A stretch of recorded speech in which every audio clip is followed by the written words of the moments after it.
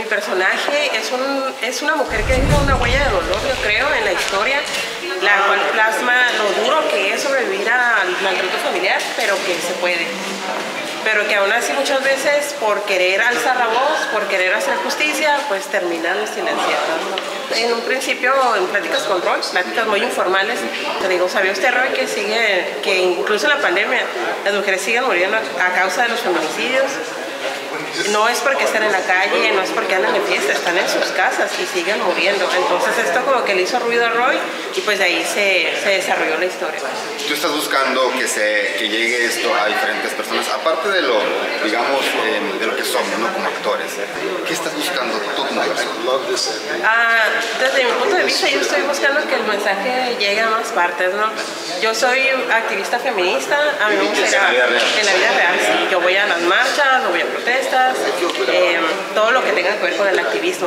Pero muchas veces se nos cataloga como gente revoltosa, gente poco seria, gente que nada más quiere salir a hacer respuesta y pues no, la verdad es que mi, una de mis misiones es que el mensaje llegue a más personas y que mejor en forma de una película.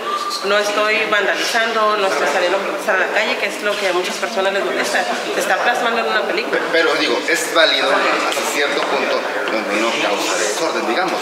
Sí, sí. Bueno, hay, hay muchas, igual la gente va a opinar, ¿no? Diferentes cosas, este, pero entonces es lo que tú piensas sobre, sobre esto, el dejar el mensaje y a la gente.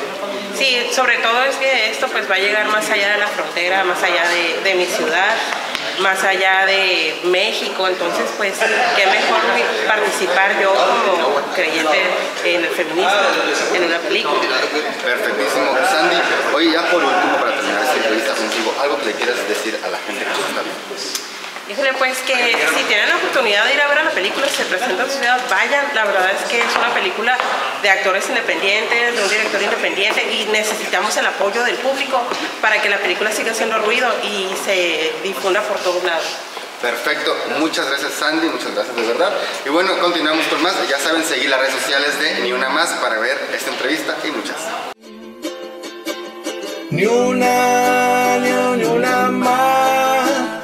no, no, no, no. Ni una, ni una más. Oh, no, no, no, no.